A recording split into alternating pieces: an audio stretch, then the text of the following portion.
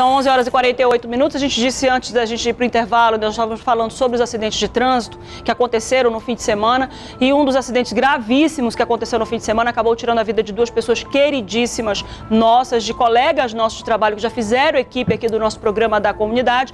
Um deles foi o tio da Tatiana Sobreira, que nós mostramos a foto na reportagem. E a outra pessoa foi o pai do nosso querido Emir Fadu, que a gente conseguiu encontrar a foto só para você que está aí do outro lado acompanhar as informações e entender aí é, essa dificuldade toda que nós é, enfrentamos nesse momento. Emir, nosso carinho, nosso amor, nossos mais sinceros sentimentos, porque a gente sabe o que é que significa um pai na vida de uma pessoa, um pai presente, é, e a gente sabe o que é que significa essa dor. Então, nossos mais sinceros sentimentos e que você e sua família segure aí essa dor, porque ela, com o tempo ela vai diminuindo um pouquinho e vai dando para suportar essa vida. 11h49.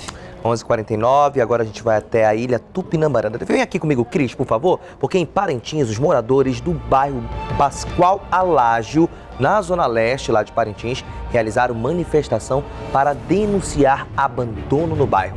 Quem traz os destaques dessa notícia é o Tadeu de Souza, aqui na tela. Alô, Márcia, alô, Bruno, alô, amigos do programa da comunidade. Nosso primeiro assunto vem do bairro Pascoal Alágio, na zona leste da cidade de Parintins, um dos mais populosos. Este bairro, há 10 anos, não recebe nenhuma atenção do poder público municipal. Da tela do agora. A rua principal foi interditada a manifestação foi marcada pelo espírito brincalhão do parintinense. Os moradores colocaram uma canoa num dos buracos da rua principal do bairro para dar ideia da profundidade do mesmo. Outro simulou uma pescaria de tarrafa. Os buracos foram sinalizados por bananeiras. Além das ruas esburacadas e sem condições de tráfego, os moradores enfrentam ainda o problema do mato, que toma conta da maioria das ruas. Na sexta-feira, uma criança escapou de ser picada por uma cobra surucucu, uma das mais venenosas da Amazônia. Nós gostaríamos que pelo menos o secretário de obras, né, se, fizesse presente aqui conosco, né, para nos dar uma posição, visto que estamos nesse sofrimento há anos, né? Todos os dias, a maioria de nós trabalhamos fora daqui do bairro, temos que sair praticamente nadando daqui, fazendo manobras nos, nos veículos. E quem tem veículo, quem não tem, entra na água mesmo para ir para o seu trabalho, para ir para a escola, ou até mesmo até no centro da cidade. Os moradores disseram que se não houver uma resposta da prefeitura, as manifestações vão continuar. Do estúdio da TV em Tempo em Parintins, Tadeu de Souza para o programa Agora. Obrigado, Tadeu de Souza, direto da ilha. Agora, sabe qual é a minha pergunta? Será que no bairro do prefeito lá de Parintins tem a surucucu? Será que tem lá na casa dele? Porque os moradores lá do Pascoal Alágio estão desesperados. Você viu aí o que, que, que, eles fizeram, gente, para poder chamar a atenção das autoridades? Cadê o secretário? Cadê o secretário que não está nem aí pro bairro?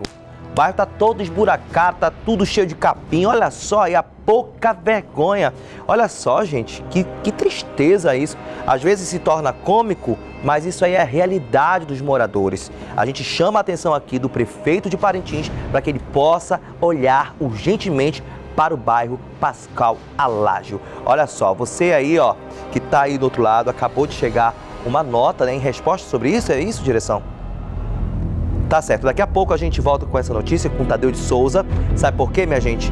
Olha só, Tadeu de Souza, assim que acabar o programa da comunidade, o programa Agora, aqui na cidade de Manaus, em Parintins, você acompanha o Agora Parintins com Tadeu de Souza ao vivo, viu? Alô, SBT Parintins, fiquem ligados.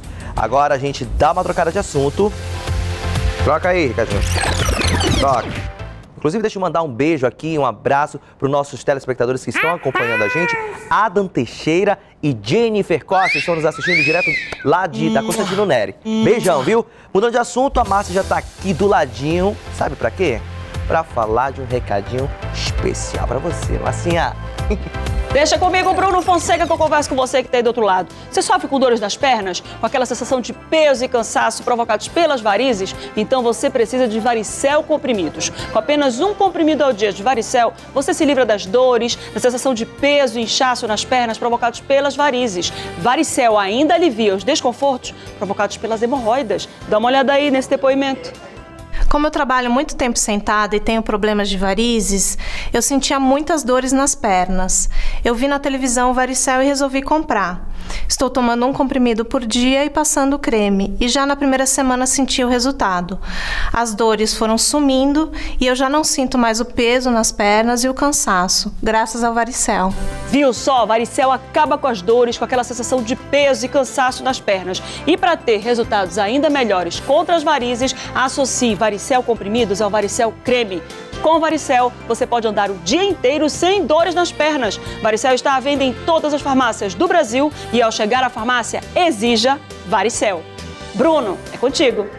Oi, Marcinha, obrigado, ótimo recado, hein? Olha só para você que está em casa, eu vou chamar agora aqui a Marcinha para o meu ladinho, porque nós vamos acompanhar agora uma notícia sobre a torcida organizada do Flamengo que traz o ex-campeão Ronaldo Angelim para participar da banda da Flajorge.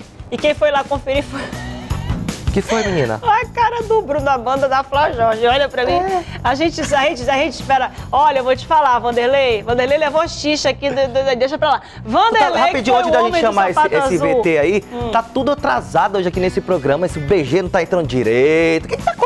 O hein? Ricardinho tá de folga. E o que, que tá no lugar do Ricardinho? Ricardinho está atualizando, André. Gesiel está Gesiel no lugar de Ricardinho. Está no todo o esforço do mundo, que ele é um rapaz super esforçado. Quem? Gesiel, Finício. Ah, tá. Ele é super, é, ele é super esforçado e tá lá fazendo trabalho de, de Ricardo. Chegou atrasado, Carlinho?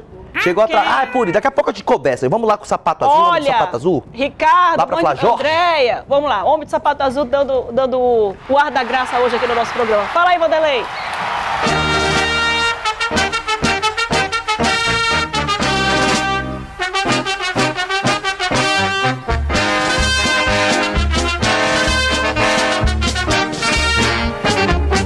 Uma vez Flamengo, sempre Flamengo. Esse gol que você acabou de ver deu ex-campeonato ao Flamengo em 8 de dezembro de 2009. Ronaldo Angelim fez o gol de cabeça contra o Grêmio e foi ovacionado pela torcida do Flamengo. Hoje ele está em Manaus. Neste sábado, porque está participando da festa da Sua Jorge. Fico feliz, Graças a Deus foi um gol importante, tirou o Flamengo aí de uma fila de 17 anos. E hoje é o gol mais importante dos últimos 25 anos do clube, né? Então, fico feliz em ter participado da história do clube. E o Flamengo tem que ver, né? A diretoria que tá. Eu sei que eles têm bastante atenção com isso, mas vocês veem aí o tanto de flamenguista que tem aqui. Num evento desse, enche aqui. Então, isso aí é uma coisa que tem que, tem que ser celebrada, até porque a torcida do Flamengo tem muitos no Brasil e no mundo, é igual o sol, como a gente fala, né? Tem em todo lugar. E ela tem que ser respeitada, porque é ela que quem é o maior patrimônio do clube. Flamengo! Como é que ele aceitou esse convite?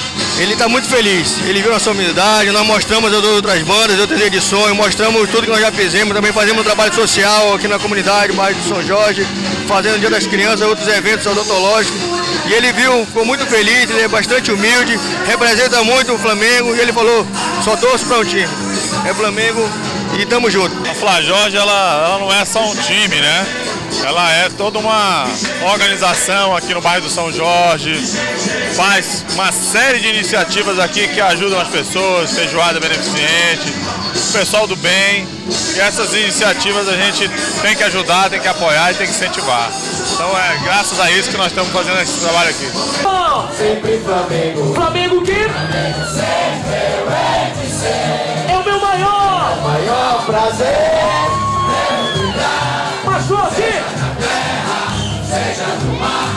E é um show de selfie, né? Eu Todo sou mundo Flamengo e tem uma nega não, chamada Tereza. Tereza. Usando ali o celular, tá ótimo. 11h57, vamos pro intervalo? Vamos pro intervalo porque daqui a pouco vamos trazer os homicídios do fim de semana. Quatro mulheres foram mortas. Em um dos casos, a mulher foi encontrada despida e com sinais de violência atrás de uma UBS na Zona Norte. É já já.